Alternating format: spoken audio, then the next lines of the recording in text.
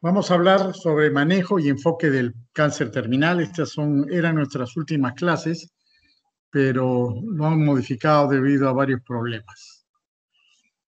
Vamos a ver, eh, el contenido de esta clase es una introducción. Vamos a hablar sobre dolor y cáncer, paciente terminal, conceptos en torno al final de la vida, cuidados paliativos, que es eh, prácticamente el objetivo de esta clase. En la imagen ven ustedes un cuadro de Frida Kahlo, una pintora mexicana que tuvo un accidente de joven, tuvo una lesión en la columna y pasó toda su vida sufriendo mucho de dolor en la columna. Y es uno de los, eh, de los eh, ejemplos más importantes sobre la, la necesidad de manejo del dolor. Vamos a mencionar algunas realidades del cáncer. Primero, que el cáncer es la segunda causa de muerte en el mundo, tanto en países desarrollados como en muchos en los de vía de desarrollo. Esta cifra va en aumento y se estima que llegará a ser la primera causa de muerte para el año 2025 en muchos países. Y de ellos, dos tercios debutan con metástasis, es decir, que en el momento del diagnóstico ya tienen enfermedad avanzada. Y si tienen una enfermedad avanzada, lo más probable es que tengan dolor. El dolor está presente en cerca del 30% de los pacientes con cáncer y aumenta al 80% en pacientes con cáncer avanzado. Pero también puede aparecer otros síntomas asociados como falta de apetito, ansiedad, baja de peso, estreñimiento, náuseas, vómitos y ahogos. Y todos ellos merecen especial atención. El enfermo de cáncer avanzado puede sufrir cerca de 10 síntomas en forma simultánea. Estos son los síntomas más comunes del paciente con cáncer. Dolor, el más frecuente por largo. Anorexia, falta de ganas de comer. Fatiga, disnea, delirio y depresión. Tomás Sindeman, un famoso clínico del siglo XVII, dijo, de los remedios que ha dado Dios al hombre para aliviar su sufrimiento, ninguno es tan universal y eficaz como el opio en nuestra época diríamos la morfina, ¿no? Y por eso el consumo de morfina es un indicador del desarrollo de los cuidados paliativos y del manejo del dolor en todos los países. Fíjense, entre los países más desarrollados, los 10 países más desarrollados del mundo, se llevan el 75% del consumo de morfina, casi 50 miligramos per cápita. El 25% restante del consumo eh, se, da en los, el resto de países. Esto demuestra una gran desigualdad. ¿no? El consumo promedio global es de 5.98 miligramos per cápita. Fíjense, casi el 10% de lo que consumen los países desarrollados. Y América Latina tiene un consumo de morfina del 1.7 miligramos por cápita. Quiere decir, somos el continente que menos utiliza la morfina por lo tanto, quiere decir que también somos los que menos manejamos bien el dolor. Chile es el país con mayor consumo de morfina de la región y solamente tiene 3.62 miligramos per cápita, comparado con los 50 miligramos per cápita de los países desarrollados. O sea, así como hemos visto que hay una generación de gran inequidad del manejo de las vacunas, que los países desarrollados acapararon gran cantidad de la vacuna, por eso es que no tenemos, decimos estamos muy lentos en la vacunación, sí, porque no nos llegan la vacuna. Igual pasa con la morfina. La morfina es muy utilizada en los países desarrollados y muy poco utilizada en los países subdesarrollados. En América Latina se, se suma el problema del narcotráfico que dificulta aún más el acceso de la morfina a médicos y pacientes. Acá lo que les comentaba es un cuadro. Fíjense, Dinamarca es el país que más alto consumo de morfina per cápita tiene, casi 70, le sigue Canadá, Estados Unidos. En Latinoamérica, fíjense dónde está Chile, que es el primero, Brasil, Costa Rica, y Perú está acá, esa rayita chiquitita que casi no se nos da. Fíjense, Perú 0.20, comparado con Dinamarca, Canadá, Estados Unidos, Chile. Chile 10 veces más que nosotros estamos nosotros casi a la cola. Solo ganamos a Venezuela, Ecuador, Bolivia y México. México, a pesar de ser bastante desarrollado, tiene el mismo problema peruano del narcotráfico, que llega a ser también un problema para el manejo de la morfina. ¿Cuál es la conducta ante el dolor y la muerte? A los médicos se nos ha acostumbrado a prevenir, diagnosticar y combatir la enfermedad, pero no se nos ha enseñado a afrontar la muerte. Esto puede provocar frustración, conductas de huida o abandono de la persona enferma o sobreimplicación y aplicación de medidas desproporcionadas, cuando el profesional se deja llevar por su propio sentimiento ante el dolor y la cercanía de la muerte. Es decir, no estamos preparados y es por eso la razón de esta clase, de alguna manera, tratar de acercarnos a cómo manejar al paciente terminal, al paciente con dolor es muy importante porque, como les digo en esta diapositiva, produce frustración. Las conductas de huida son muy frecuentes. Eh, me acuerdo cuando era esclavo y trabajaba en la seguridad social, teníamos una pacientita, una niña joven de 12 años, 13 años, que tenía un sarcoma metastásico por todo sitio y ahí iba a morir. Y un día pasando visita nos dice, nos pregunta ella, yo ya me voy a morir, ¿no? Y uno de los, no, no, ¿y por qué dices eso? Porque ustedes ya no me pasan visita. Imagínense, ya no, como ya decían lo igual y se pasaban, ¿no? Entonces la chiquita se dio cuenta. Esos son conductos de huida. Otra cosa muy común, ponle un biombo para no verlo, para no pasarle visita. Y no nos damos cuenta que es una persona enferma, que no podemos abandonarla y que tenemos cuidado. Y el otro extremo es sobreimplicarnos, empezar a hacer cosas en demasía que va a causar más problemas por hacer eh, una, por una. Pero el principal problema, y hemos visto, es el dolor. Tenemos que aprender a manejar el dolor. Vamos a empezar definiendo dolor. La IASP, que es la Asociación Internacional para el Estudio del Dolor, lo ha redefinido muchas veces y la última definición es el 2020, que ha sido publicada en la revista Pain, abajo tienen la cita, y lo define como una experiencia sensorial y emocional. Fíjese, son dos cosas, ¿ah? lo que siente del dolor y emocional. Es una experiencia sensorial y emocional, desagradable, asociada o similar a la asociada con un daño tisular real o potencial. Esta es una nueva definición que se ha dado cuatro décadas después de la antigua definición del dolor. Es muy simple, es bastante pequeña, fácil de acordarnos, pero hay que aplicarla. Esto implica varias cosas. Nos dice primero que el dolor es siempre una experiencia personal, que está influenciada por diversos grados de factores biológicos, psicológicos y sociales. Y esto dificulta el manejo del dolor, porque va a depender el dolor de cada persona. No todos los dolores lo vamos a interpretar igual. ¿Y qué va a definir que lo interpretemos cada uno? Factores biológicos, psicológicos y sociales. El dolor y la nocicepción son fenómenos diferentes. El dolor no puede interferirse únicamente de la actividad de las neuronas sensoriales. El dolor va más allá, tiene la parte psicológica, espiritual. A través de las experiencias de vida, las personas aprenden el concepto de dolor y se debe respetar el informe de una persona sobre una experiencia como dolor.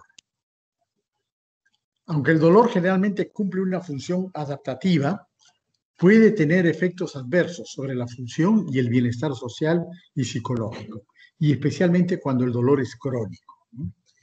La descripción verbal del dolor es solo una de varias conductas para expresar el dolor. La incapacidad para comunicarse no niega la posibilidad de que un humano o un animal no humano esté experimentando dolor. Por eso debemos prestar mucha atención a nuestros pacientes para tratar de entender cuándo están sufriendo. El dolor es un problema de salud pública. Y acá lo dice esta publicación ¿no? También de la revista Pain. El dolor crónico afecta a 100 millones de pacientes en Estados Unidos anualmente.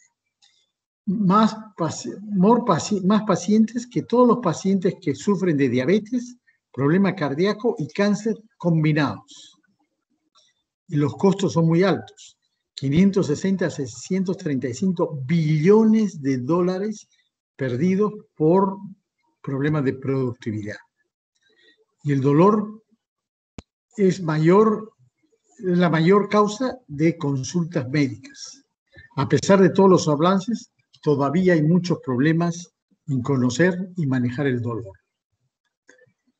La DIAF lo clasifica el dolor en tres tipos de dolor. Dolor nociceptivo, dolor neuropático y el dolor mixto que combina elementos de ambos. Por lo tanto, si nosotros nos enfocamos en el dolor nociceptivo y el dolor neuropático, vamos a poder entender los tres tipos de dolor. En el dolor nociceptivo hay una lesión tisular. El ejemplo más característicos son las enfermedades musculoesqueléticas, problemas mecánicos de inflamación, una fractura, un esguince. El dolor neuropático, el origen está en el sistema nervioso central o periférico y tiene causas múltiples, como la diabetes, neuralgia por espéctica y el ictus. Y el dolor mixto, que es el que más frecuentemente vemos en oncología, es una mezcla de ambos dolores. hay un concepto eh, propiciado por la JASPE en el año 2017, que se refiere al dolor nociplástico. Y dice que es aquel dolor que se produce en una función nociceptiva alterada.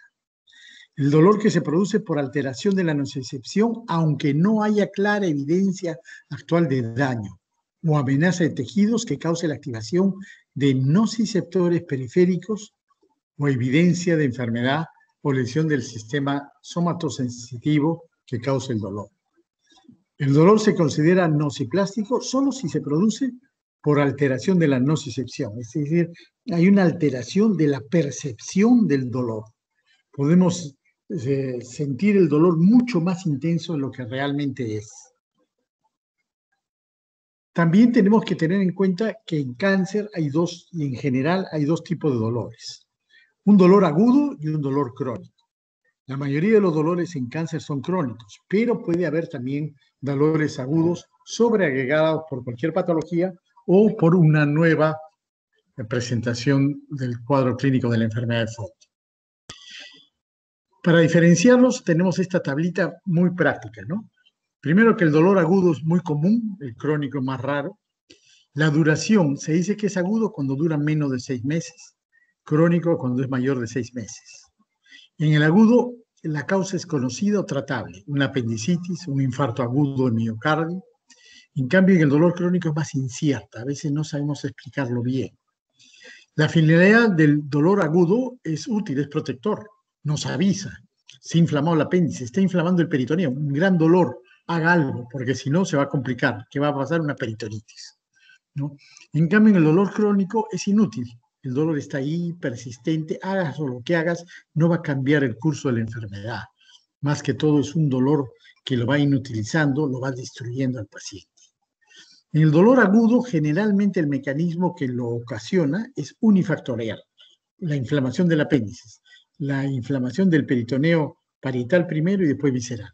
Entonces es una causa única. Controlando eso, sacando el apéndice, se acaba el dolor. En cambio, en el crónico hay múltiples factores.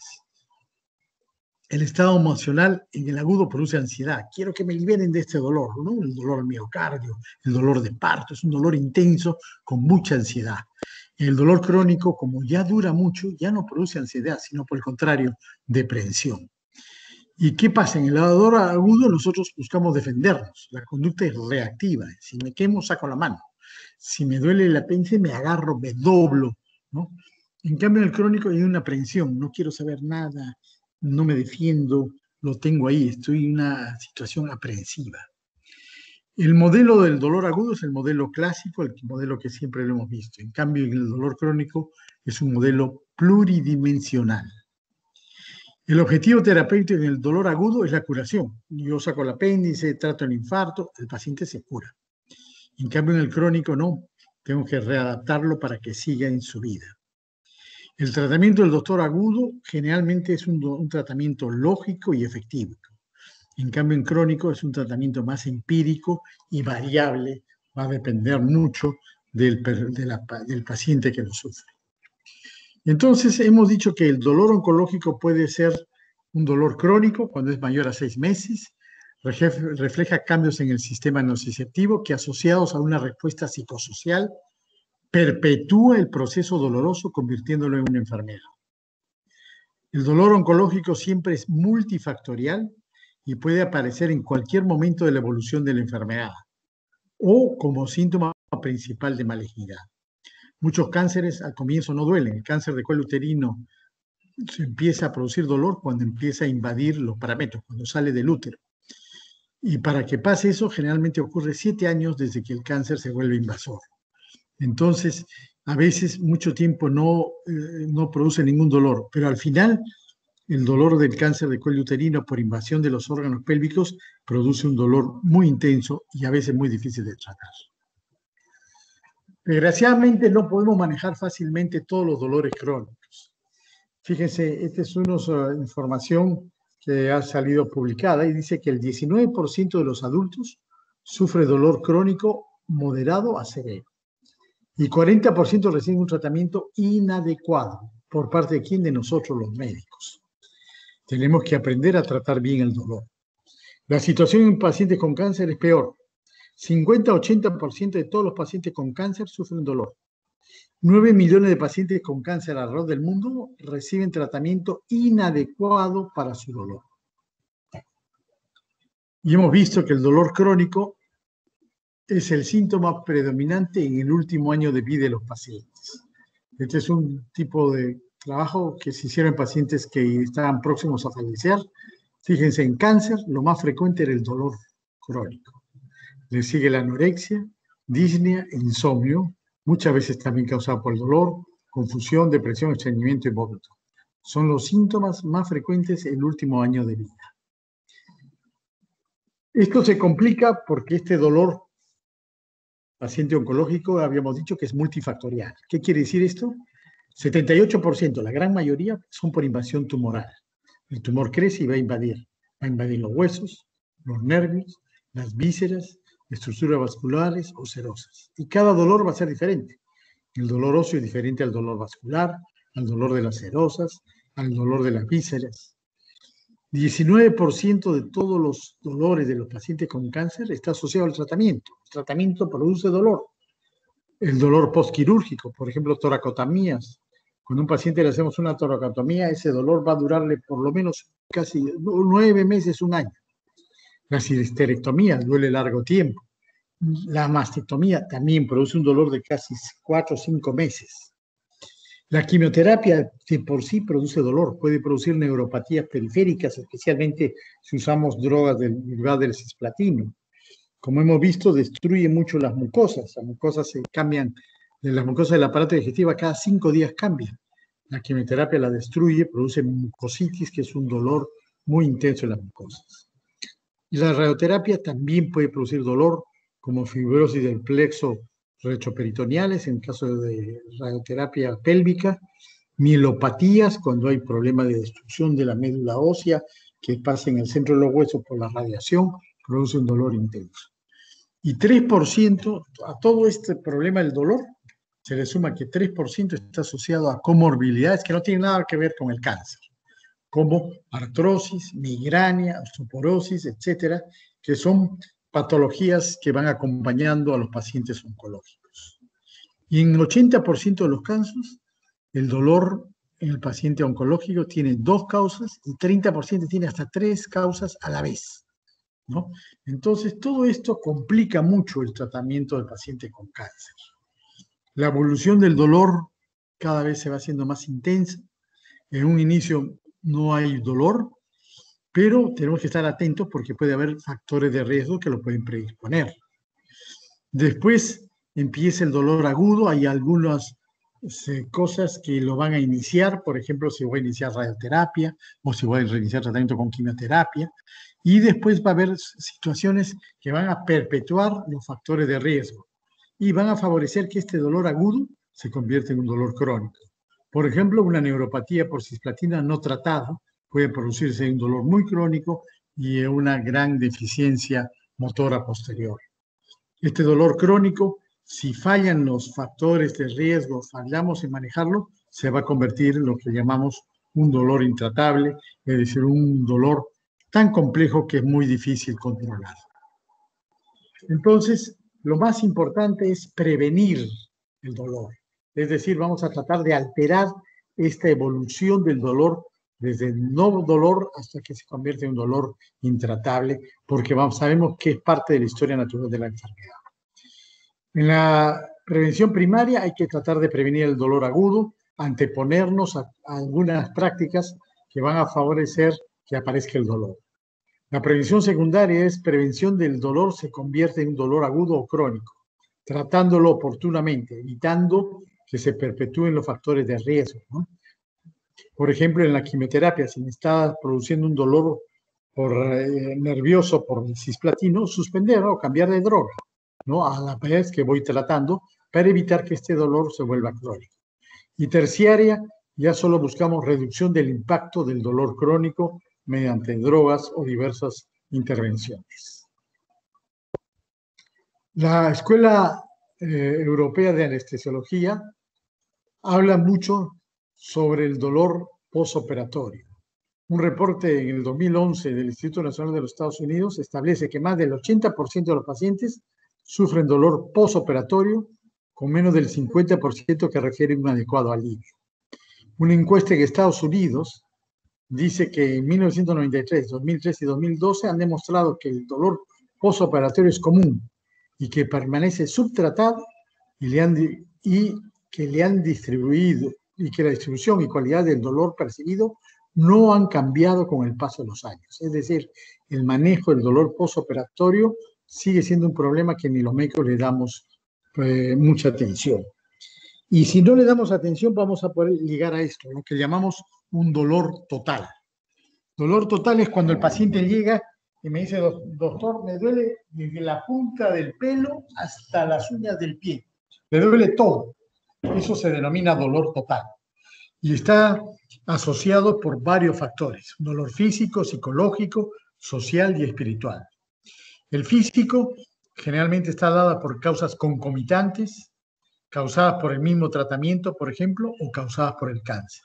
Estos tres se suman y nos van a dar el dolor físico fácil de verlo, percibirlo y de tratarlo. Pero junto con este dolor físico va a haber unas alteraciones psicológicas.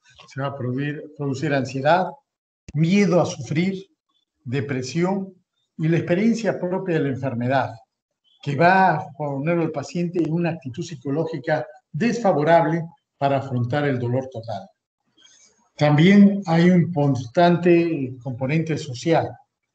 Eh, hay una pérdida del papel y el estatus social. Si es un varón, por ejemplo, ya no puede trabajar, no mantiene el hogar y todo eso le causa un problema. Hay pérdida del trabajo, preocupaciones financieras, preocupación sobre el futuro de la familia y dependencia, dependencia de otras personas cuando antes eran completamente independientes. Todos estos factores sociales también van a contribuir a que se produzca el dolor total. Y por último, una esfera espiritual. Hay un enojo con el destino, muchas veces lo, ira contra Dios, ¿por qué me ha tocado a mí? ¿Por qué yo, si soy tan buena gente? Pérdida de la fe, encontrar un sentido a su sufrimiento y a la vida que les queda, y también un miedo a lo desconocido. Todo esto se suma y complica mucho el manejo y por eso le decimos dolor total, porque repercute en todas las esferas de la persona. Entonces vemos acá cómo interactúan estas cuatro esferas y llevan un dolor total, el dolor psicológico que produce miedo, ansiedad, tristeza, experiencias basadas en experiencias previas, el dolor físico, ya hemos visto la lesión tisular, las estimulaciones en los sectores van a llevar a que el dolor psicológico se vuelva ah, un potenciador del dolor físico. Y también va a participar la parte social, familiar y espiritual, abandono sanitario, sufrimiento familiar, miedo del futuro. Y esto todo interactúa formando lo que se conoce como dolor total. Ya habíamos hablado de esto algo, en pacientes con cáncer el dolor se presenta en 75% de pacientes de cáncer avanzado, 33% en los cánceres en proceso de curación y 59% en terapia contra el cáncer. La tercera parte de los pacientes oncológicos van a presentar dolor de intensidad moderada a severa. Y hay cánceres que producen más dolor que otros. Así, por ejemplo, uno de los que más dolor produce el cáncer de cabeza y cuello. Quizá por la gran cantidad de nervios que tenemos en la cara y en la cabeza, que imagínense al crecer el tumor fácilmente lo comprime y empieza a causar problemas. La próstata, especialmente cuando es metastásica por la gran diseminación a los huesos, produce mucho dolor. La mama y el páncreas. El páncreas es conocido por su dolor tan intenso que muchas veces es muy difícil de pasar. Desgraciadamente nuestros pacientes llegan así. Esto no es para asustarlos ni molestarlos, pero vienen así. Pacientes que ha sido operada, aquí arriba vemos una mastectomía sin tratamiento posterior, una recidiva en la pared abdominal muy dolorosa. Esta paciente cuando acudió a nosotros llevaba mes y medio de operar. El médico que la operó no hizo bien las cosas, era un tumor muy grande, debió haber recibido quimioterapia antes de ser operado. Fíjense este gran metástasis en la axila. Cualquiera dice, uy, la voy a operar. Si yo lo opero, le pasa lo que le ha pasado a esta paciente. Se disemina más el cáncer. Entonces hay que hacer el diagnóstico, dar quimioterapia, reducir el tumor para tener piel sana para poder hacer los colgajos. En la parte de abajo ven un cáncer de recto y ano, que también produce mucho dolor, muchas molestias. Y en la tomografía vemos un gran tumor de estómago que le produce un llenado rápido prepilórico que hace que se dilate el resto del estómago y el paciente tenga dolor y vómitos. Entonces, cada paciente es único, cada paciente hay que encarar. Y a medida que venga con enfermedad más avanzada, más problemas vamos a tener para el manejo del dolor. Otra cosa muy importante para el manejo del dolor es medir el dolor, cuánto le duele. Entonces nosotros tenemos que acostumbrarnos que un paciente con dolor, que es por ejemplo la mayoría de los pacientes con cáncer, tenemos que aprender a hablar con esta escala del dolor, del 0 al 10, de la escala numérica, ¿no? que también puede ser eh, que 0 implica sin dolor y 10 el dolor más eh, grande que se pueda soportar. Esto se compara con una escala visual que es muy útil especialmente en niños, ¿no? cuando uno está sin dolor o cuando está el mayor dolor posible tolerar. Y entonces con esta escala nosotros vamos a poder medir y ver, ya sea con la escala visual o la escala numérica, evaluar regularmente cómo está avanzando mi tratamiento del dolor. La idea es ir disminuyendo, ir bajando en el número, ir bajando en las caritas para documentar es una, valorar el dolor en paciente con cáncer internado es una obligación de hacerlo diario. Incluso una época luchábamos para que las mismas enfermeras, cuando toman la presión, temperatura, pulso, respiraciones, anoten la escala del dolor para saber en cuánto está el paciente. Y viviendo adecuadamente el dolor, vamos a poder aplicar unos principios muy simples de manejo del dolor que están resumidos en esta escalera analgésica de la OMS, una escalera que está hace más de 25 años sugerida por la Oficina Mundial de la Salud, que se basa en la evaluación visual o análogo del dolor, que es lo que dice aquí Eva, cuando el dolor es 1 a 3, 4 a 6 o 7 a 10, cómo tenemos que ir avanzando. La idea es que eh, si yo tengo esta escalera del dolor, no debo saltarme los pasos, debo ir poco a poco. Primero utilizando analgésicos no opioides como AINES, paracetamol, metamisol, que es el primer escalón. El segundo escalón es a estos AINES le voy a agregar, le voy a sumar. No, lo, no es en vez de, sino le voy a sumar o codeína, dihidrocodeína o tramadol. ¿no? Y además, si yo sigo evaluando y el dolor no baja, se sigue 4 o 6 o aumenta 7 o 10, voy a pasar al tercer escalón que uso los analgésicos no opioides más morfina, fentanilo, psicodona, metadona o buprenorfina, ¿no? Ya es el tercer nivel. Esta escalera es muy importante utilizarla, tienen que aprenderla de memoria, tienen que aprender los pasos de seguro les voy a mandar alguna pregunta de examen de esta escalera analgésica. Es muy útil y deben aprender. Junto con la escalera hay que tener en cuenta algunos principios del tratamiento del dolor en cáncer. Primero, la vía. La vía debe ser la vía fácil, vía oral, porque el paciente va a requerir muchas veces el analgésico. No le podemos tener amarrado por una, a un suero o poniéndole endovenosa cada rato. Por eso debemos buscar un analgésico que se pueda dar fácilmente por vía oral para que el paciente pueda estar en su casa. Es muy importante el horario fijo, es decir, darle a cierta hora. ¿Por qué? Porque cada medicamento tiene un tiempo de vida media. Vamos a verlo luego.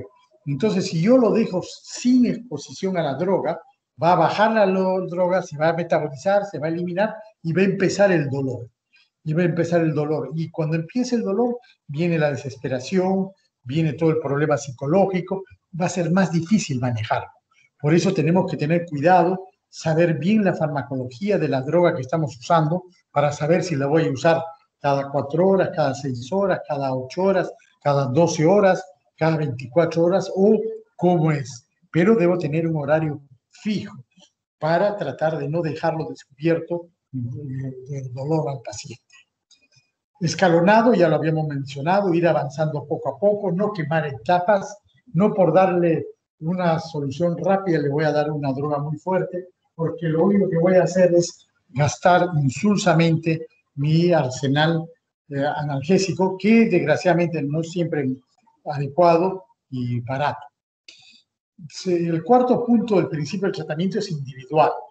Quiere decir que hay que individualizar el tratamiento con cada paciente habíamos visto que el dolor tiene una esfera biológica, psicológica, espiritual, que entonces eso va a hacer que varíe de un paciente al otro. Por eso las reacciones, el eh, control del dolor va a variar de un paciente a otro. No podemos aplicar el mismo esquema a todos, por eso tiene que ser individual. Y debe ser detallado, antes o después de los alimentos, con o sin comida, a qué hora, con algunas drogas que lo van a potenciar o así nomás. Entonces, debemos escribir bien claro cómo son las indicaciones. A eso me refiero en detallado. Si nosotros respetamos estos cinco puntos, estos cinco principios de tratamiento del dolor, vamos a tener éxito en manejar el dolor en paciente con dolor crónico. Lo más importante son fármacos, eh, utilizar adecuadamente una mezcla de fármacos.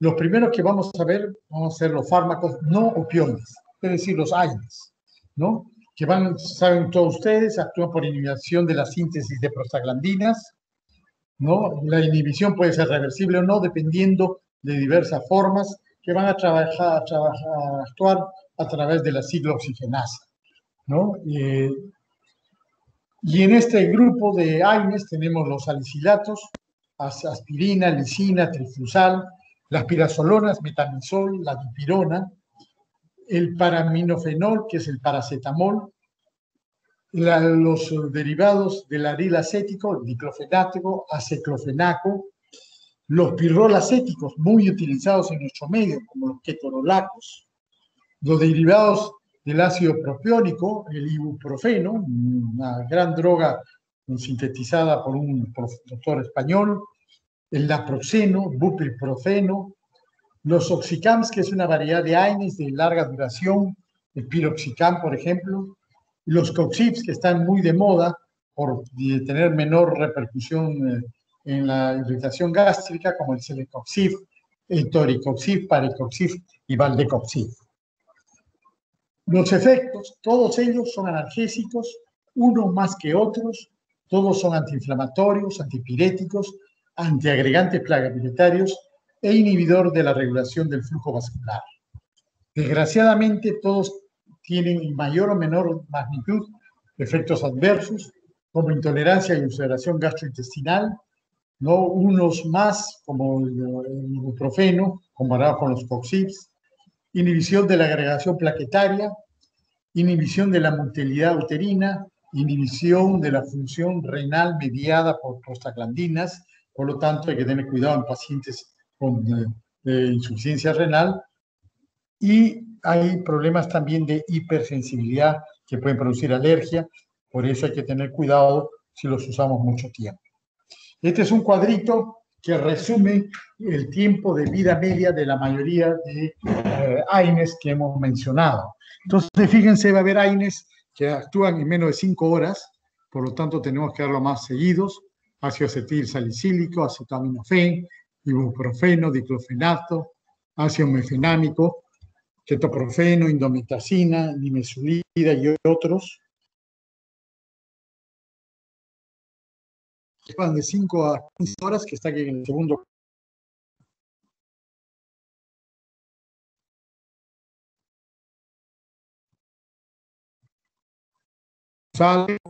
Y tenemos los que de larga duración, todos los oxicames, como el piroxicam, tenoxicam, los nuevos AINES, el rofecoxib. También podemos clasificarlos de acuerdo a su potencia antiinflamatoria.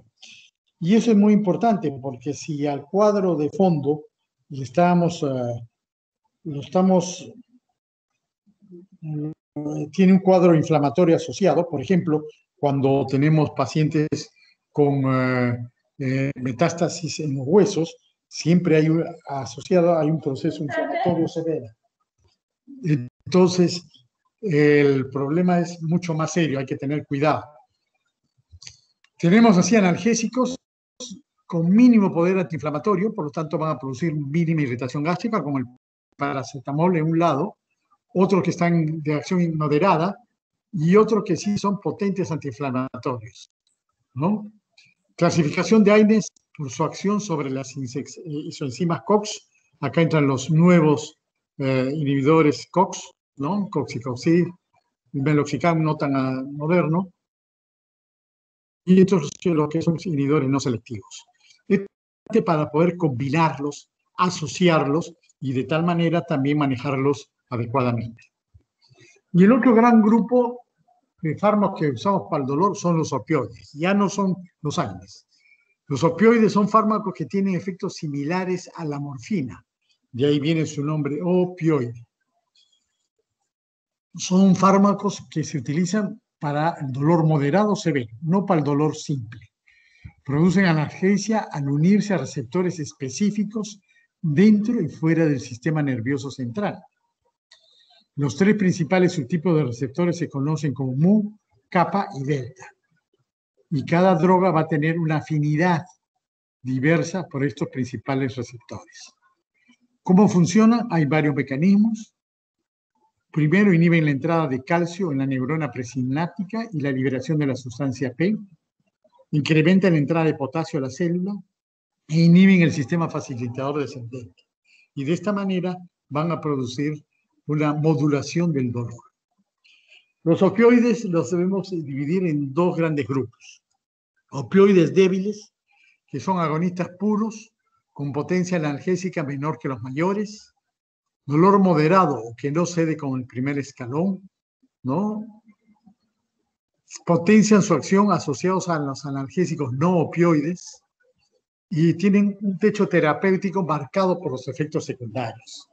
No, no podemos usarlos más porque empiezan a producir una serie de efectos secundarios, principalmente cefaleas, náuseas y vómitos. Y nunca asociar con opioides potentes.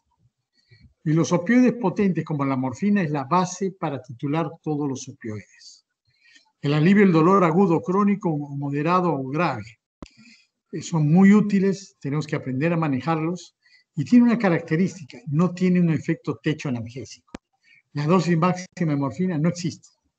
Si lo que pasa es que si damos mucha morfina, vamos a producir un paro respiratorio, pero el paciente cada vez va a ir bloqueando sus receptores y el organismo va a ir produciendo más y más receptores. Por eso cada vez vamos a necesitar más y más drogas para buscar un efecto analgésico similar al que teníamos antes que se hayan producido más receptores. Por eso tenemos que saber que a veces hay que rotar. Hay que rotar un opioide. a eso se define con la rotación de opioides. Es la sustitución del opioide previo por otro con el objetivo de obtener un equilibrio entre la analgesia y los efectos secundarios. Por ejemplo, Si yo le estoy dando codeína a mi paciente, yo le voy a poder dar codeína hasta cierto punto. Pero después la codeína tiene muchos efectos colaterales, se queda en la boca, visión borrosa y sobre todo estreñimiento. Estreñimiento tan complicado que a veces malogra todo simplemente que el paciente esté tan estreñido. Entonces yo para cambiarlo tengo que hacer una rotación adecuada de los opioides como vamos a ver. Entonces esta rotación, es decir, el cambio de un opioide a otro, el cambio de vía de administración, cambio debido a la preferencia del clínico o del propio paciente, también cambios debido a la disponibilidad, tienen que hacerse con cuidado. Y a eso se llama la rotación de los opioides. Tengo que saber que, por ejemplo, la morfina oral equivale a 1.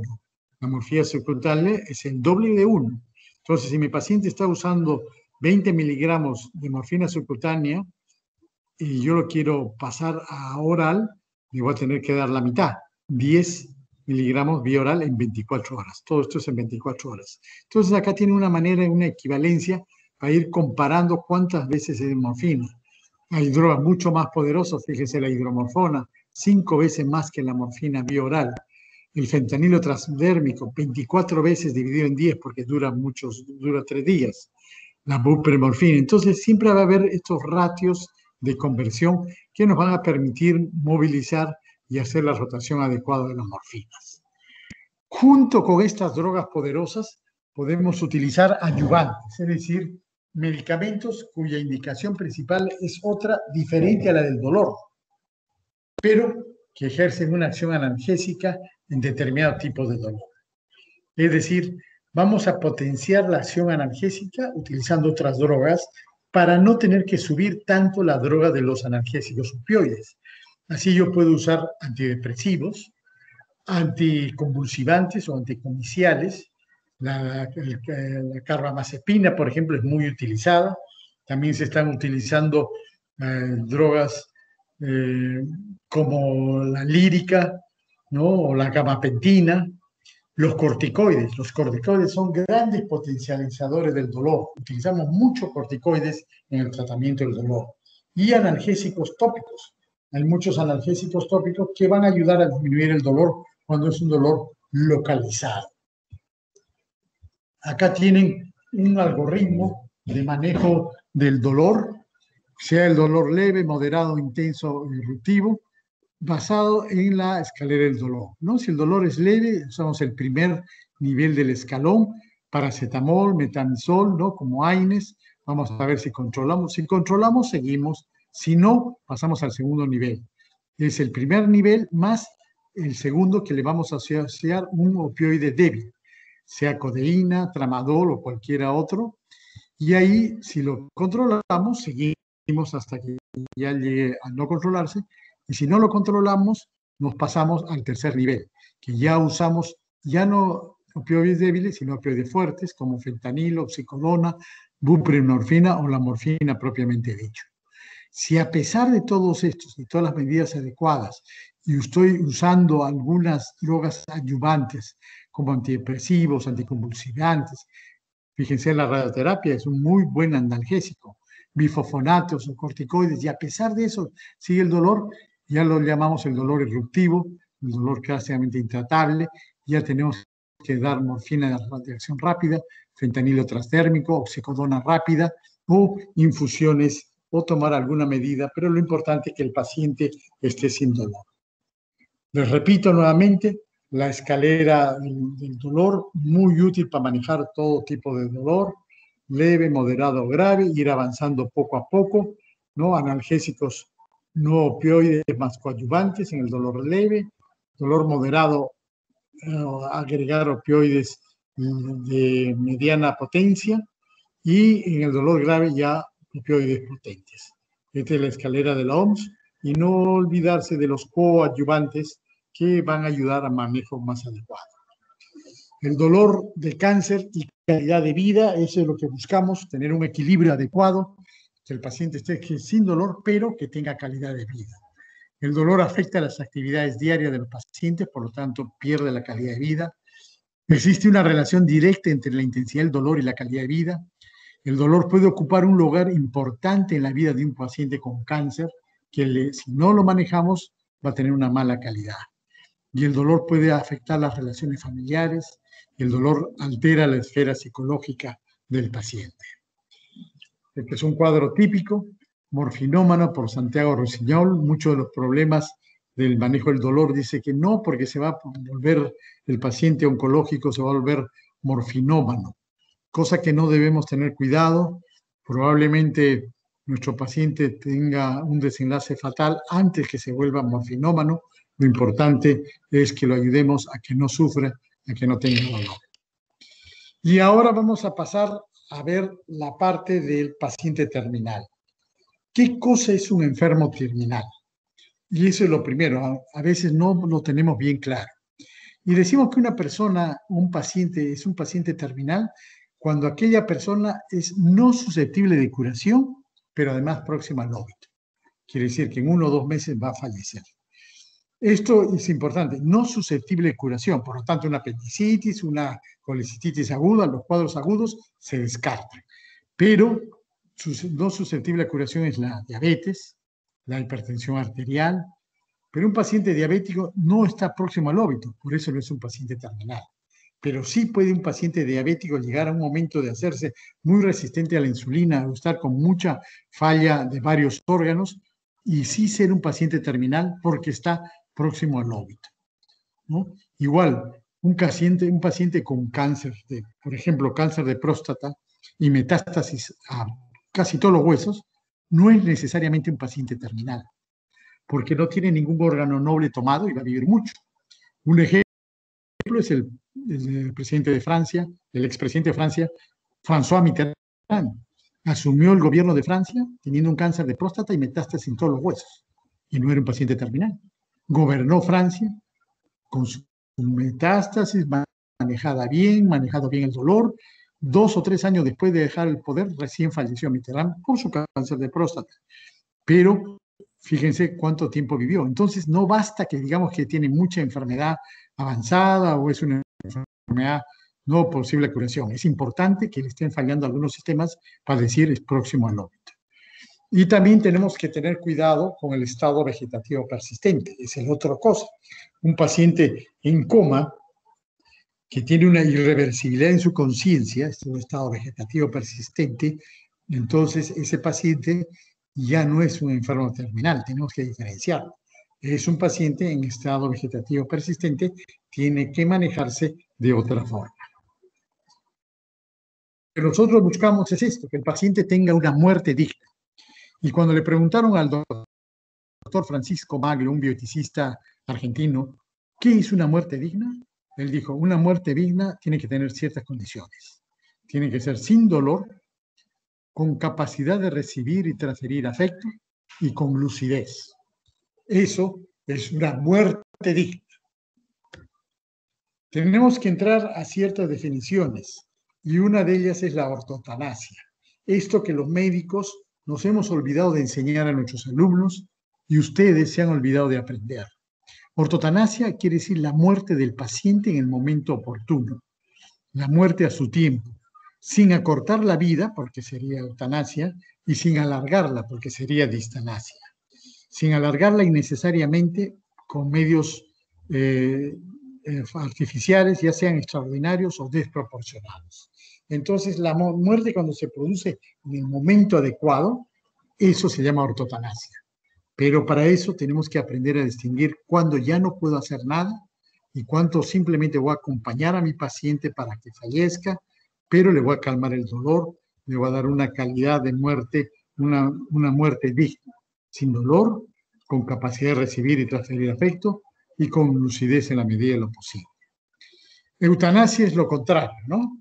Es la idea que surgió de la buena muerte, en el sentido de una muerte apacible, sin dolores, una muerte dulce, sin sufrimiento.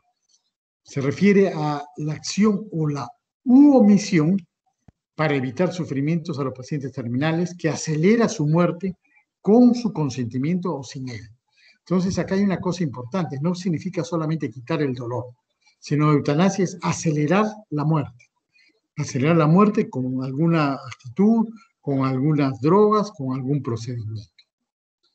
La Asociación Médica Americana define eutanasia como el acto de ocasionar la muerte a un paciente terminal y o persona sufriente de manera relativamente rápida e indolora por razones piadosas. Y así vemos que hay dos, varias clases de eutanasia. De acuerdo a la actitud del médico, puede ser una eutanasia pasiva o activa. Pasiva se refiere a suspender las medidas mecánicas que mantienen con vida artificial a un paciente o se deje de tratar al paciente. Le, le calmo el dolor, todo, pero le retiro todo lo que lo pueda mantener artificialmente con vida. Una nutrición parenteral, nutrición enteral, respiradores, máquinas, drogas, medicamentos, antibióticos. No. Lo dejo simplemente con control del dolor y nada que lo mantenga mecánicamente su vida. Y eutanasia activa, el médico contribuye a acelerar el deceso del enfermo aplicando algún producto, una solución de cloruro de potasio, una altas dosis de morfina, etc. También la eutanasia se puede clasificar de acuerdo a la participación de la autorización del individuo en voluntaria, no voluntaria e involuntaria.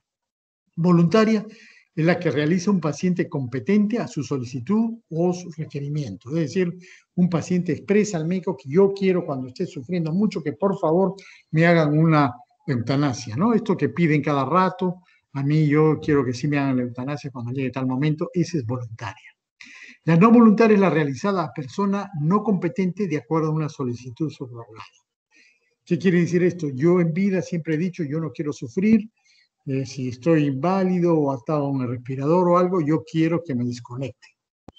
Pero cuando yo me muera, no tengo, no puedo expresar. Pero sí he dejado encargado a mi familia o lo he expresado de alguna manera a alguien que eh, tome la decisión cuando yo no pueda hacerlo. Eso se recuerda a una solicitud subrogada. Y la eutanasia involuntaria es la que la realiza un médico o un personal sanitario sin ningún consentimiento del paciente. Pobrecito, este paciente está sufriendo, mejor lo mato y se acabó el problema. Y otro concepto es el suicidio asistido, que es un término que fue inventado por el doctor que ven en la foto, el doctor Jack Kevorkian, que lo definió como un acto mediante el cual un profesional de la salud brinda información y los medios requeridos para que el paciente terminal ejecute su suicidio ya que Borkian era, predicaba que cada uno debía escoger la muerte cuando llegase el momento, y él entonces les ayudaba a los pacientes colocándoles a una maquinita que ellos mismos activaban y producían su defensa, su muerte. Por eso se llama suicidio asistido, porque el mismo paciente lo aplica.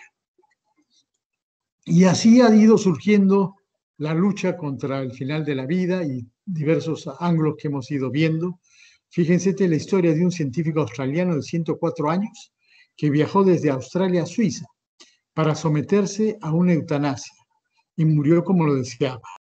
Hizo su eutanasia activa porque le pusieron una droga para que muera, porque ya estaba cansado de vivir solo.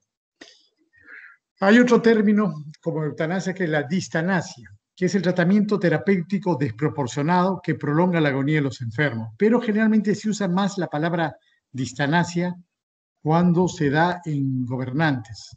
Pasó en Franco, que es la imagen que ustedes están viendo. Francisco Franco dirigió la Revolución Española después de mucha lucha contra el rey, derrocado. hizo una enfermedad se complicó y quedó en estado vegetativo persistente, quedó prácticamente muerto. Y lo tuvieron en vida un mes mientras que decidían quién lo iba a suceder. Increíblemente habían sacado al rey, el papá del rey Juan Carlos, y lo pusieron a su hijo, que de todas maneras no fue tan fácil que acepte y al final nomás aceptó. Entonces, para ganarse su tiempo, lo mantenieron vivo. Igual Tancredo Neves. Tancredo Neves fue un presidente de Brasil que después de 10 o 12 años de gobierno militares lo eligen como presidente. Y al mes hace una peritonitis por una perforación de divertículo, lo entran a operar y queda en estado vegetativo. Lo tienen un mes en la UCI decían, no, está vivo, está bien, está muy bien, ya se va a recuperar. Y mientras tanto se hacía todos los trámites políticos para ver quién lo iba a suceder. Eso se llama distanasia. ¿Mm? Pero también usamos distanasia como sinónimo de ensañamiento terapéutico. Es decir, cuando utilizamos medios desproporcionados sin respetar los legítimos derechos o deseos del enfermo. Se llama también encarnizamiento terapéutico, obstinación terapéutica. A veces, por todo en pacientes jóvenes, no podemos aceptar que se esté muriendo, le seguimos haciendo, le ponemos una cosa, la otra, el paciente ya está destrozado, pero seguimos adelante. Por eso se llama también obstinación terapéutica o furor curandi, un calor por curar, aunque ya no se puede hacer nada, le pongo sexta siglo de antibióticos, lo cambio, vienen los hongos, tres, cuatro esquemas de antimicóticos, hay necrosis tisular, se le van necrosando los dedos, le vamos amputando, seguimos luchando y ya realmente no sabemos parar. Por eso se llama ensañamiento terapéutico. Incluso la Iglesia Católica dice que ciertas intervenciones médicas ya no adecuadas a la situación real del enfermo por ser desproporcionada a los resultados que se podrían esperar o bien por ser demasiado gravosas para él o su familia. Entonces, el enseñamiento terapéutico, el término este, lo acepta la Iglesia, acepta que, se, que no debemos llegar a estos estados. Y otra definición importante es la cacotanasia. Les habíamos dicho que la eutanasia a veces es involuntaria, ¿no? Cacotanasia se refiere a eso. Es aquella eh, que se impone sin consentimiento del afectado. Como ocurrió, por ejemplo, en el Hospital Lines de Viena, un hospital en el cual veían que cada cinco o seis días morían, especialmente los viejitos que nadie los visitaba. Resulta que un pacto de enfermeras, habían hecho un pacto, habían, se habían puesto de acuerdo, dijeron, todos los viejitos que sufren, ah, le damos vuelta para que ya no sigan sufriendo. También le pasó en esta imagen que ustedes ven sobre el talentoso doctor Shipman, que es una película, un neurólogo eh, inglés que fue, se despachó, mató a 218 personas entre 1974 y 1998. Les hizo cacotanasia. Veía que sufrían, que estaban tristes, pacientes entre 93 y 41 años. Los ayudaba a bien morir y al final fue denunciado, fue metido preso y se suicidó en la cáncer de Londres el 14 de enero del 2004. O sea, estas cosas ocurren. Otro término importante es la mistanasia. Ah, ya no se puede hacer nada, hay que abandonar al paciente. Y aquí surgió la Madre Teresa de Calcuta, realmente recogiendo en eh, Bombay a todos los pacientes desahuciados, especialmente de SIDA por enfermedades terminales, tuberculosis terminal, que en las calles iban a morir en la calle. Entonces, no se trata de decir al paciente, bueno, ya no tengo nada que hacer, vaya usted a morir. Tenemos que acompañar al paciente hasta el final de sus días. Si no, estamos cayendo en la mistanasia, que es abandono del paciente. Frente a todo esto, ¿qué hacer? ¿Eutanasia o no? ¿Está bien o no la eutanasia? Y la respuesta la traen los cuidados paliativos. Robert Twycross, este médico inglés, inventó los cuidados paliativos y lo definió como el arte de la medicina que consiste en saber decidir cuándo el sostenimiento de la vida no tiene ningún sentido y cuándo permitir que la muerte ocurra sin colocarle impedimentos, pero también sin abandonar al paciente, es decir, atendiéndolo hasta el final. Por eso se llama cuidados paliativos. La idea es tratar síntomas angustiantes, incluidos el dolor, la náusea, la falta de aire, insomnio y otros signos físicos causados por el cáncer o por su tratamiento. Hay que tratar las necesidades emocionales y sociales del paciente incluidos síntomas como la ansiedad o ayuda en relaciones familiares difíciles.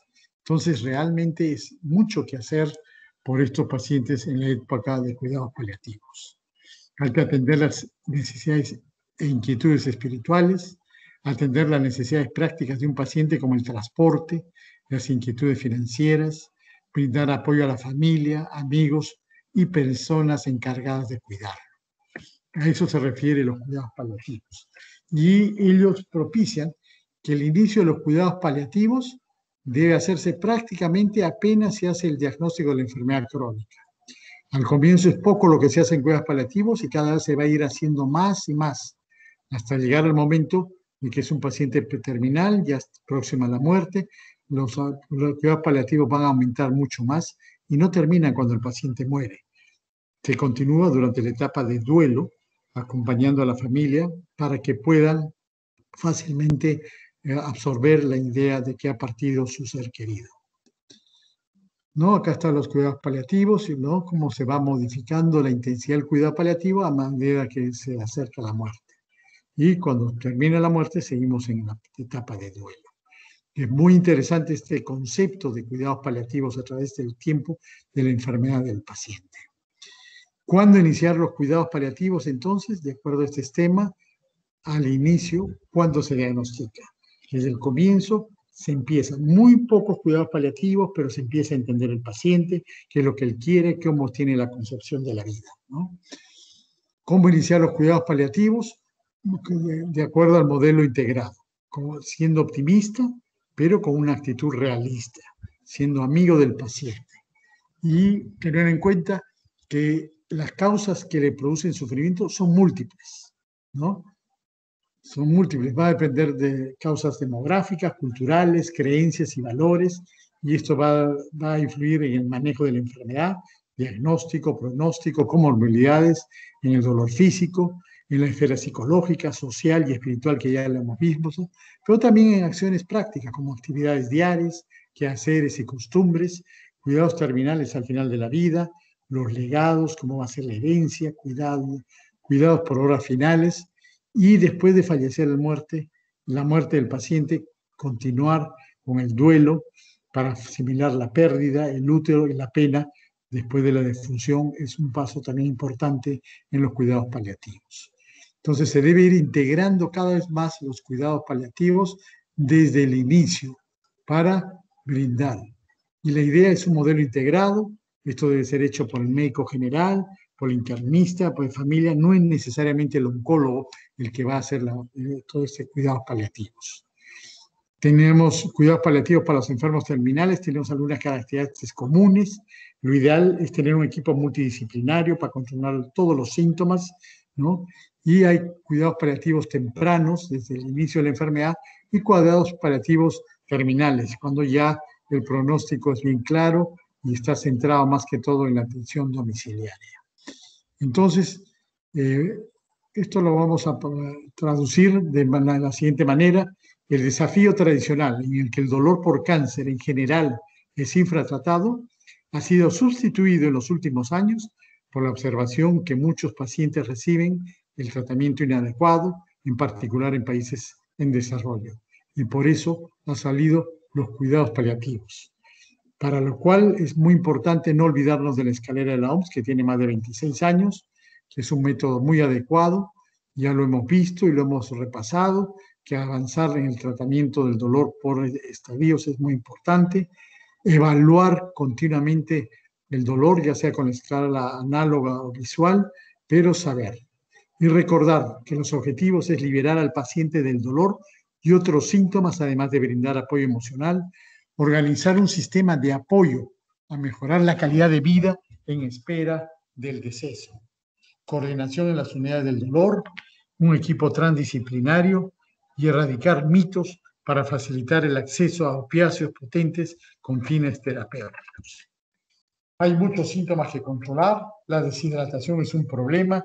El paciente a veces no toma agua por pared intestinal, uso de opioides, inapetencia, y esto agrava todos los síntomas.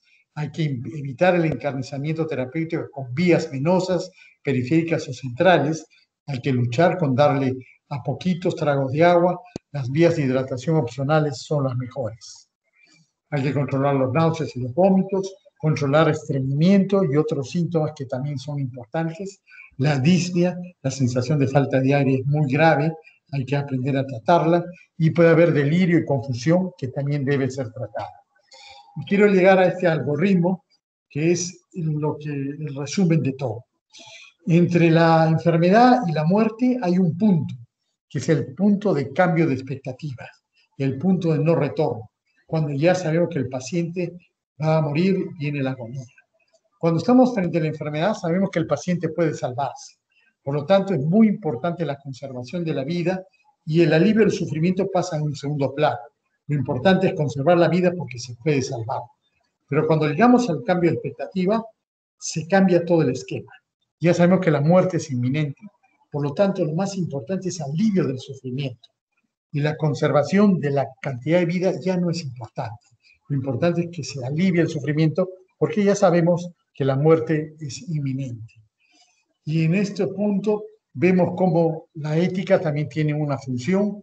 En la primera etapa, cuando todavía el paciente se puede salvar, lo más importante es el principio de beneficencia, es decir, hacerle bien al paciente sobre todas las cosas, y el no maleficencia queda en segundo lugar. En cambio, cuando hemos pasado el punto del no retorno, lo más importante es no maleficencia, es decir, no hacer más daño, no hacerlo sufrir más, aunque eso vaya en contra de su beneficio de mayor vida. Y en ambos, tener en cuenta el principio de autonomía y justicia. En conclusión, el cáncer es una, es una enfermedad importante y es tarea de todos y todas las especialidades. El dolor por cáncer debe ser bien manejado y los cuidados paliativos deben iniciarse al momento del diagnóstico, siendo una alternativa para no tener que llegar a la eutanasia o distanasia. El abordaje debe ser integral, un equipo multidisciplinario y agarrar todos los niveles de la esfera del hombre. ¿Quién lo debe hacer? Médicos generales, internistas, intensivistas, médicos de familia, todos ellos tienen un importante rol en el cuidado paliativo del paciente y el manejo del dolor, y es por eso destacables. Muy bien, hasta que hemos hecho la primera clase, vamos a seguir con la segunda. Si alguien quiere hacer alguna pregunta.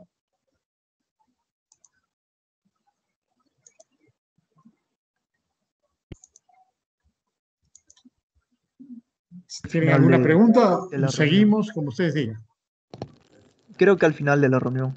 Perfecto. Muy bien, entonces nos vamos embalados con la segunda. No hay primera sin segunda.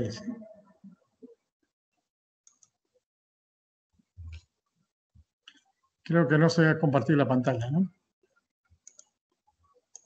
Todavía no, doctor.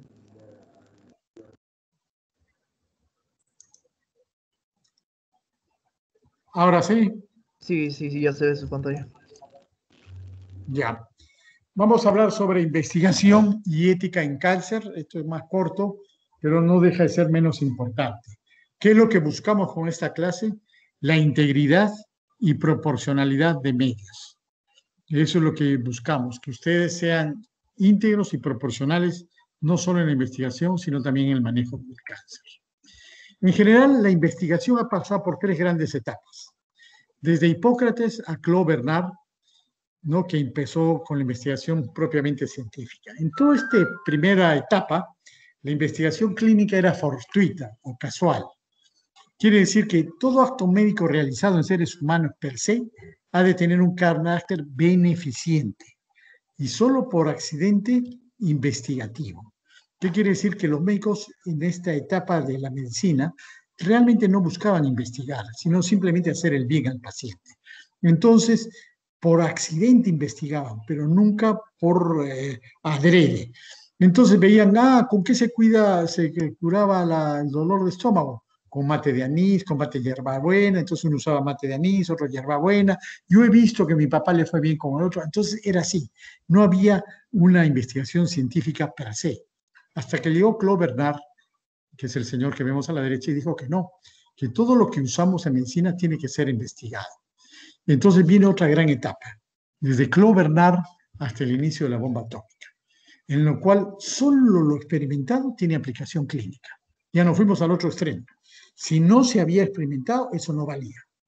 Entonces, la validación o la investigación en seres humanos tiene que ser posible per se y no solo per accidentes como era anteriormente que solamente por accidente descubrían las cosas. Entonces acá empezamos a ver que para yo eh, usar algo tengo que realmente haberlo investigado y demostrar que realmente funciona. Y entonces surge el principio de autonomía, tanto para los sujetos como para los investigados. Y después de, de tanto investigar hubo un exceso. ¿no? En Nuremberg, 17 médicos fueron condenados por cometer excesos durante los experimentos con miles de seres humanos, especialmente judíos, en la Segunda Guerra Mundial. No vamos a entrar en detalle, todos lo sabemos, pero hubo una gran revolución en la investigación a raíz de Nuremberg. Y entonces empezamos la, segunda, la última etapa de la investigación, desde Nuremberg a la oveja Dolly, por decir así, o a la investigación con coronavirus si lo queremos actualizar. Y aquí podemos decir que es el comienzo formal de la ética de la investigación en seres humanos. Hasta antes de Nuremberg, nadie hablaba de ética en la investigación, pero Nuremberg marcó un hito y desde entonces, junto a la necesidad de investigar para buscar nuevas salidas de las enfermedades, tenemos la obligación de incluir la ética en la investigación. Nuremberg nos enseñó que el sujeto de experimentación debe dar un consentimiento voluntario y conservar su libertad para poder retirarse del experimento en cualquier momento. Segundo, el experimento debe ser necesario, correcto y de bajo riesgo. Y por último, el investigador debe ser calificado para hacer bien las cosas. A pesar de todos estos grandes avances, hay tres proyectos paradigmáticos en la bioética. ¿no? A pesar de que se dijo que teníamos que hacer bien la investigación, en 1956, por ejemplo, el caso Willowbrook, dieron, hicieron, contagiaron deliberadamente hepatitis a niños con deficiencia mental. ¿Para qué? Solamente para probar una vacuna que no la habían estudiado bien, que nunca dio resultado y los niños murieron con insuficiencia hepática. En 1963 se hizo otro, otro trabajo de investigación conocido como el caso de Brooklyn, en el cual inyectaban en Nueva York eh, células cancerosas a 22 pacientes ancianos para probar nuevos tratamientos del cáncer que no dieron resultados y los pacientes, muchos de ellos murieron con cáncer. Y el, otro, el último proyecto paradigmático que también lo conocen ustedes es el caso Tuskegee, cuando entre 1932 y 1972 se estudió la evolución de la sífilis en negros sin indicarles tratamiento con penicilina, tratamiento probado que hubiera eliminado la enfermedad de sus cuerpos y sobre todo de su descendencia, pues incluso nacían niños con, eh, eh, los niños con eh, tuberculosis, con sífilis, perdón. En 1964, nuevamente, a pesar de Nuremberg, se reúnen los científicos y dicen, no, no, puedes, no podemos seguir así, tenemos que cambiar. Y sale la declaración de Helsinki, en el cual solicitan que primero se debe hacer un diseño científico y se debe hacer experiencias previas en animales. Ahí sale la idea del protocolo de investigación. Y salió el principio de proporcionalidad entre los riesgos predecibles y los posibles beneficios.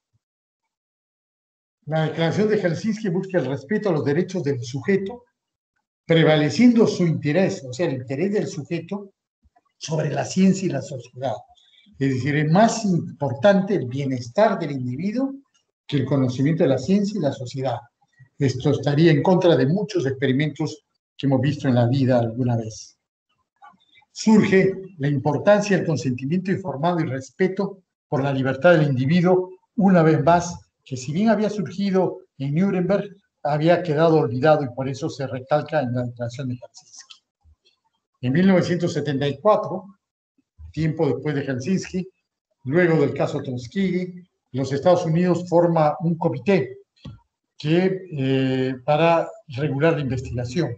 Y su trabajo fue el informe Belmont. Y ese informe Belmont fue muy importante porque establece el respeto a las personas, el principio de la beneficencia y justicia en la investigación de seres humanos y marca un hito de la ética en la investigación. Las implicaciones prácticas del informe Belmont fueron el consentimiento informado como tal, y el balance entre beneficios y riesgos y la selección equitativa de sujetos de experimentación.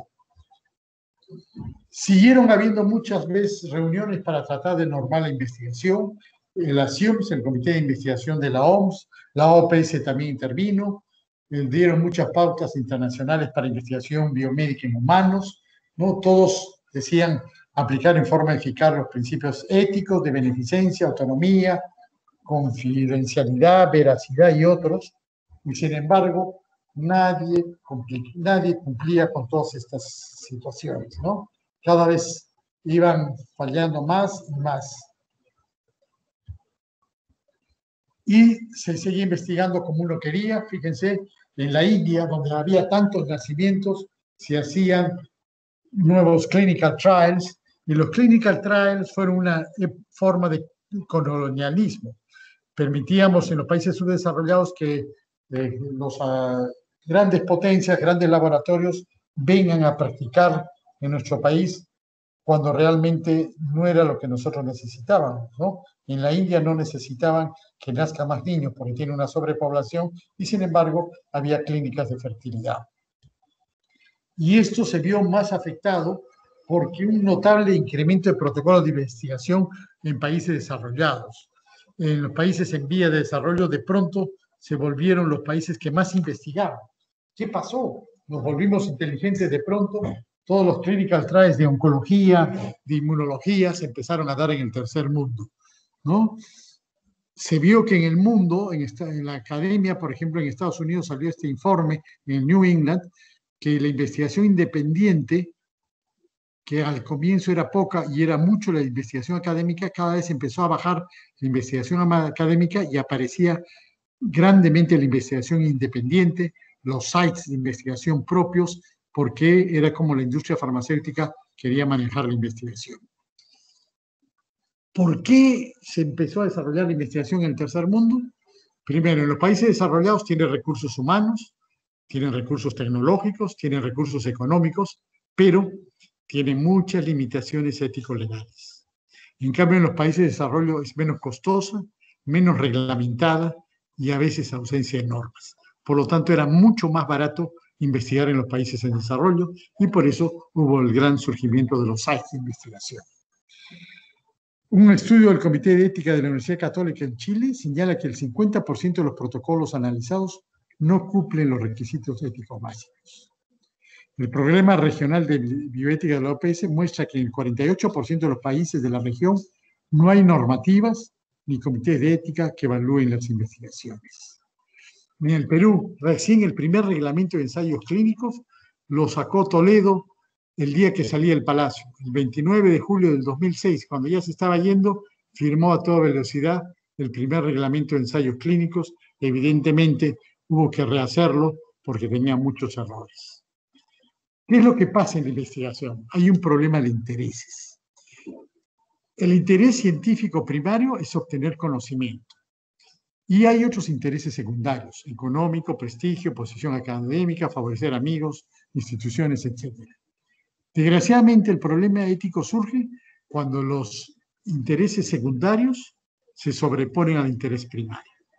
Muchas veces solo les interesa el problema económico, el problema de prestigio, la posición académica, y nos olvidamos de lo más importante, el obtener conocimiento para bien del hombre. Problema de intereses, un laboratorio XX fue acusado por promover una droga que no había sido investigada para ese caso. Fue acusada del marqueo ilegal de una droga antiepiléptica utilizada con otros fines sin haber obtenido licencia de aprobación para ese fin. Mucho conflicto de intereses, especialmente en cáncer, ¿no? Y esto se debe a que hay un grave conflicto de intereses entre la universidad y la industria. Y esto nos va a demostrar qué importantes son estos los problemas de los intereses. Fíjese, el tema de investigación en la universidad es seleccionado por necesidades sociales y científicas. En la industria, por un interés productivo. El manejo de la información en la universidad es abierto, en la industria es cerrado. La fuente de ingreso del personal de investigación en la universidad es abierto, y múltiples, en función de múltiples necesidades de los investigadores. En la industria farmacéutica se selecciona por la propia industria. En la universidad, el apoyo a la investigación es múltiple. El Estado, fundaciones, fondos propios, la industria misma. En la industria, la misma industria garantiza su apoyo a la investigación. Los productos de la investigación en la universidad son manejados por la institución y los investigadores. En la industria, solo ellos lo manejan de acuerdo a su conveniencia. Y la publicación en la universidad es seleccionada por la institución y por los investigadores, comité editorial. En cambio, en la industria, ellos mismos seleccionan lo que van a publicar. Y es así que hemos visto cosas fatales, como por ejemplo el famoso caso de Biox, de Merck y compañía, un producto que vendía 2.55 billones de dólares uno de los 30 productos más prescritos en el año 2003. Desde su aprobación, más de 100 millones de recetas se produjeron solo en Estados Unidos de Biops. Y la FDA observó que tenía un problema. El único competidor era el Celebrex de Pfizer. ¿Qué pasó? Resulta que esta droga producía infarto y muertes repentinas. Sin embargo, esa observación la mantuvieron escondida hasta que empezó a salir al mercado. Ocasionó que caigan las acciones al retiro del BIOX del mercado y la caída de otros inhibidores. Y lo más triste es que Merck conocía los efectos nocivos cardiovasculares y trató de intimidar a los investigadores que insistieron en esta verdad. Le dijeron que no, que era muy poco, que no valía la pena demostrarlo. Y sin embargo, salió al mundo. Es un serio problema el problema de los intereses. Fíjense, 1.534 artículos en ocho revistas prestigiosas estuvieron observados por problemas de intereses. 17% eran auspiciados por los laboratorios y 29% tenían conflicto de intereses. Por lo tanto, la Big Pharma, la industria farmacéutica, es un factor muy peligroso para distorsionar la investigación. En América Latina, por ejemplo, Mintzberg analizó las conductas de la industria farmacéutica y las sintetiza en un cuadro cuyos títulos hablan por sí mismos. Bloqueo a los genéricos, prolongación artificial de las patentes, fraude y, y sobrefacturación, sobornos a los médicos, investigación sesgada e infiltración del gobierno. Y esto es lo que busca la industria farmacéutica y ese es el peligro de la investigación. Pero también ocurre en los grandes países. Fíjense, John Darcy, un médico del Brigham and Women Hospital de la Universidad de Harvard, en 1981 fue sorprendido fraguando, es decir, inventándose resultados. Tenía ocho artículos falsos y 32 resúmenes dudosos que habían sido publicados y presentados en grandes congresos. Esto fue publicado por el New England Journal of Medicine. Y quizás uno de los más fraudes científicos se le debe a Juan Husuk, que fue el primero en clonar exitosamente un perro. Afirmó que había investigado clonaciones células humanas creando 11 líneas celulares troncales eh, para pacientes específicos y todo era un engaño. Sin embargo, se hizo tan famoso que salió publicado sus trabajos en Science. Fue el peor escándalo para la revista. Y publicar en Science es difícil. Reciben 12.000 papers al año, tienen 23 editores que aceptan solo el 30% de esos 12.000. Y esos 30% pasan un peer review y solo 8% de los artículos son publicados. Juan Huxu escapó a toda esta severa evaluación y publicó en Science, lo cual hizo que Science tenga que replantear la forma de aprobar sus eh, publicaciones. La globalización de protocolos de investigación requiere reglas éticas y legales más efectivas para proteger a los sujetos de investigación y a la integridad científica. Y todo el mundo lo denuncia desde todos los lados. En nuestro país hemos vivido el vacuna gate cuando hemos visto que intereses secundarios se han sobrepuesto a los intereses primarios de investigar una vacuna. Por eso, hemos hablado de la sífilis de Tuskegee, hay problemas con talidomina, investigación en cáncer, hepatitis en Nueva York, una serie de transgresiones a la investigación que hicieron que haya declaraciones como la de Helsinki, el informe Belmos, normas, y cada vez surgen más y más normas, leyes, protocolos de investigación. Pero ¿qué va a pasar? Igual, ¿qué hacemos? ¿Seguir creando leyes, actualizando normas? Parece que no. La única solución son ustedes, la participación social, es decir, los médicos, la sociedad, la comunidad científica, todos debemos participar, todos debemos estar activos y ser críticos de todas estas transgresiones que en cualquier momento pueden pasar, como lo hemos vivido nosotros con la vacuna Gates. Van Rensselaer Potter profesor emérito de oncología de la Universidad de Wisconsin, que creó la palabra bioética, escribió su libro Bioética, El puente al futuro en 1971, con la esperanza que en el 2001, 30 años después que lo escribió, se haya creado un puente entre el saber científico y el saber humanitario. y se, se observen los principios de la bioética de autonomía, justicia, beneficencia y no maleficencia. A través de los diversos métodos de la bioética, como la casuística en bioética, comités hospitalarios, consentimiento informado y testamentos de vida. Ya sabemos que los comités hospitalarios son comités creados con la finalidad de promover el estudio y la observancia de principios bioéticos apropiados en el campo de la salud y ciencias de la vida. Hay dos tipos de comités, los comités de bioética que evalúan la investigación y los comités asistenciales de bioética. Son, deben ser multidisciplinarios, reunir gente de diversas especialidades para que funcionen bien los comités hospitalarios. Tiene una función educativa, de asesoramiento y normativa. Y fíjense, estos comités son tan válidos que cuando el doctor Peter Butler quería hacer un trasplante de cara que le hizo a Isabel Dignore, tuvo que pasar su protocolo de cirugía a través de un comité de ética que le autorice hacer este trasplante de cara. Su aplicación en los protocolos es muy importante. Exige al menos los siguientes requerimientos. Consentimiento informado, valoración de beneficios y riesgos y la selección equitativa de los sujetos de investigación. Hay varios procedimientos para la evaluación ética de los ensayos clínicos, pero en conclusiones podemos decir que la dignidad humana es el principio fundamental del quehacer científico y de la investigación. El bienestar del ser humano debe anteponerse al interés de la ciencia o la sociedad. Hay que evitar el daño de los participantes y, si es posible, mejorar su salud.